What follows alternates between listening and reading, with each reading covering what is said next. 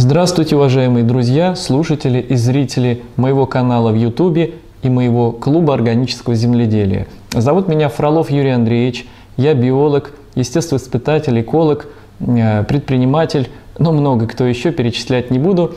Обо мне можно узнать, посетив мой блог, мои сайты в интернете, вы их легко найдете. Сегодня наша тема аграрная, тема по выращиванию томатов, а именно по срокам посадки семян и по срокам пересадки готовой рассады на грядки в открытый грунт и в теплице, либо в зимние сады. Я сам обожаю томаты, очень много сортов и гибридов перепробовал, выращивал, э, так что могу дать вам хорошие советы. Итак, э, я уже выпускал ролики, где были, было сказано, каким образом, когда, каким образом надо проращивать сами семена. И как пересаживать из мини-тепличек вот таких, которые мы импровизированно делаем. А, видите, даже конденсат на крышке. А, еще есть потому как температура, свет создают определенную среду, и если мы помещаем субстрат вроде вермакулита, э, на который уже сеем семена, то у нас создается влажная среда под крышкой. Это могут быть маленькие контейнеры, любые, не обязательно такие большие, как этот.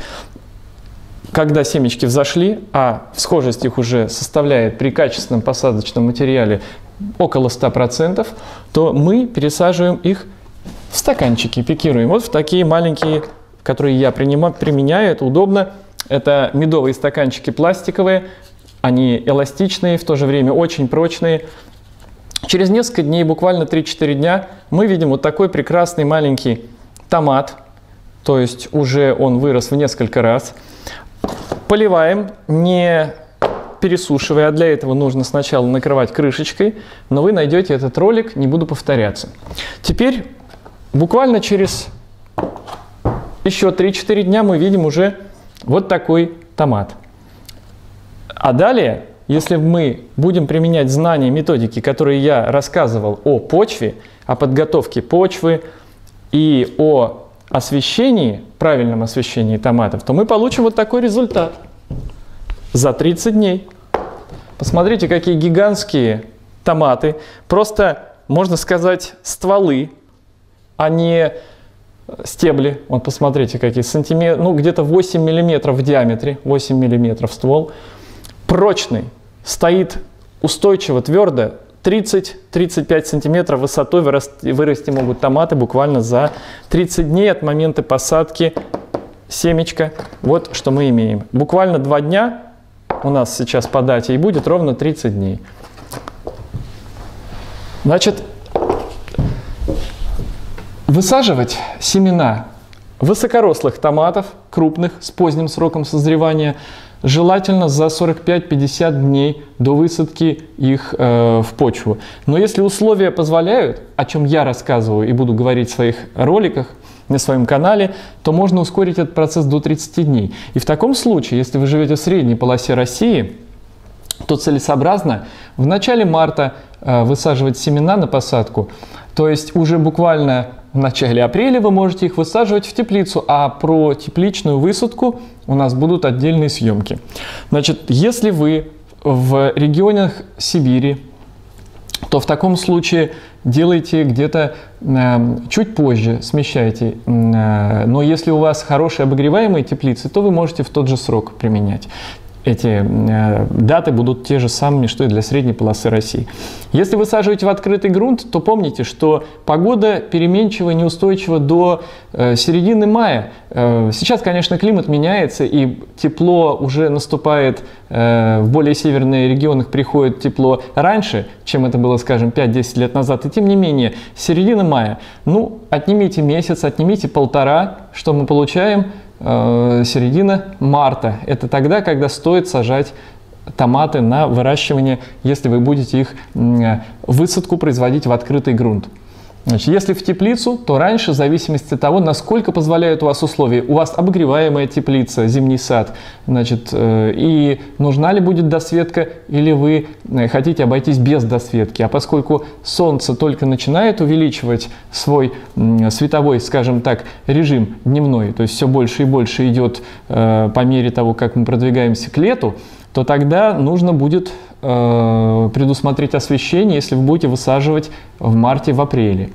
В общем, помните, что у нас есть при правильной методике выращивания где-то месяц, месяц и неделя, чтобы мы могли прекрасную крупную рассаду высадить или в открытый грунт, или, соответственно, в зимний сад в теплицу. Теплицы у нас, как правило, не обогреваемые, поэтому для зимних садов одно, в зависимости от ваших условий и возможностей. А вот уже если теплица, то тогда мы можем э, от погоды, но тем не менее сдвинуть это где-то на середину апреля, или на конец апреля высадку томатов в грунт. Теперь немного слов, буквально пару э, о том, какие я рекомендую сорта. Я перепробовал более 100 сортов и гибридов томатов. И скажу вам, что э, есть у меня любимцы, но я вам их порекомендую. Прям вот э, конвертики разрезаны, потому что все они были высажены. Покажу вам. Значит, этот, например, томат увертюра. Высокий, сладкий вкус, плотные томаты, небольшие. Э, ну и, собственно говоря, э, очень обильный урожай дают. Мне нравится эта культура. Уникальный томат черная гроздь.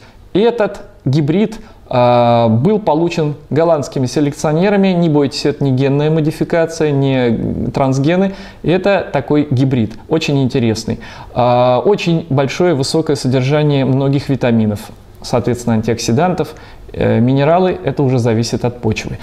Я э, начал в этом году э, в большом количестве вот этот томат выращивать. Значит, есть неплохой сорт томат «Роза ветров». Старый сорт, буквально 90-95 дней, и его можно э, значит, получать плоды. Весьма крупные, сочные, э, достаточно легкие. Томат «Виагра». Это интересный очень интересный гибрид, тоже относится к темным томатам, но он не совсем черный, тем не менее он э, урожаен, до 10 килограмм с квадратного метра вы можете получить. Э, очень полезный, но срок его созревания 100-112 дней. Поэтому э, учитывать надо, что для теплиц это идеальный вариант, для зимних садов тоже. В открытый грунт нужно сажать уже 40-45 дневную рассаду. Прекрасный маленький томат лампа Аладдина, маленький, желтый, сладенький-сладенький. Тоже прекрасные плоды. Хотя скажу так, что это из сладких томатов таких э, капельной формы не самые маленькие. Иногда плоды достигают до 200 и более грамм. То есть не малюсенькие. Вот. Прекрасный э, сорт, очень рекомендую. Значит, э, что еще могу сказать буквально о нескольких сортах и гибридах. Вот это финик красный. Ну, это прекраснейший э, гибрид, который, э, значит, э, уже прекрасно э, себя чувствует и растет при 20-22 градусах. Вот, и, э, значит, очень обилен. Но маленькие плоды, буквально по 20 грамм, но великолепный вкус у них. Я их очень люблю. Белароса. Вот этот томат, это известной японской фирмы Саката прекраснейший томат. 55-60 дней всего лишь у него э, от высадки э, в грунт до плодоношения. Плоды по 200-300 грамм, великолепные вкусовые характеристики, то есть великолепные. Он очень устойчив к э, фитофторе, ну и к десяткам видам значит, инфекций, паразитам, грибкам, даже к нематодам. Вот, поэтому ему можно даже выращивать в открытом грунте, естественно, но сажайте после 15 мая. Он быстро созревает, успеет легко высадить, даже если вы посадите 1 июня хорошую рассаду в открытый грунт. Да? Так что он не дешев, как и черная гроздь, но это стоит того. Ну и, пожалуй, скажу еще такой японский оранжевый трюфель. Тоже прекраснейший томат, масса 100, 150 грамм. Вот, э, ну, в каждой кисти где-то по 5-6 плодов. И, в общем, э, значит, достаточно быстро вырастает. Держит низкие температуры. Ну и, в общем-то, очень красивые плоды в виде трюфеля. Ну и плотная консистенция у него. Поэтому он очень хорош для консервирования, кто консервирует. Вот. Я расскажу обязательно в дальнейшем и о других сортах и гибридах томатов, томатов. Я сам очень люблю томаты, как я уже говорил, поэтому э, обязательно будем с вами не раз встречаться на эту тему. Я буду рассказывать редкие, ценные, э, интересные методики по увеличению массы плодов, их э, вкусовых свойств, качеств и э, сроком созревания, дам агроприемы, такие интересные, ценные. Также я провожу занятия практически в моем хозяйстве в Ржевском районе Тверской области. И э, скоро откроется еще одно мое хозяйство, где мы будем приглашать, куда вернее мы будем приглашать всех желающих обучиться методикам аграрного земледелия, улучшения плодородия почвы и работа с разными культурами, в том числе даже тропическими. Поэтому подписывайтесь, я вас призываю на мой канал, получите много интересной информации. И, э, значит, до встречи в нашем клубе органического земледелия. Всего вам самого лучшего.